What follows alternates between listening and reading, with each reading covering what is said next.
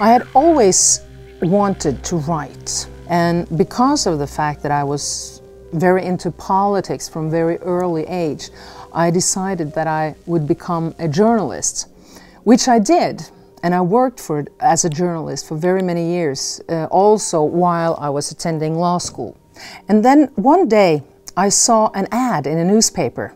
It was an ad for a um, competition, a crime writing novel competition in one of the publishing houses in Norway.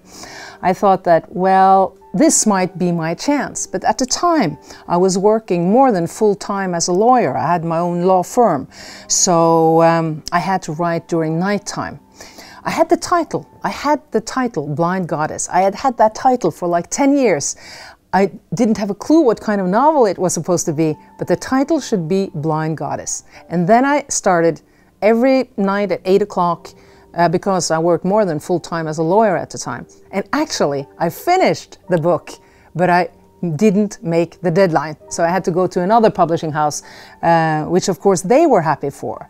Um, and what happened was that this book was an instant success, which is quite rare uh, as a debutante. It's very rare to make an instant uh, success and, and to, to head right into the best selling lists. My intentions were to um, to make this a one book story. I never had any idea that actually being an author would be my way of living so many years later. But um, after this great success, uh, my publisher said, You cannot stop now. So I said, Okay, one more.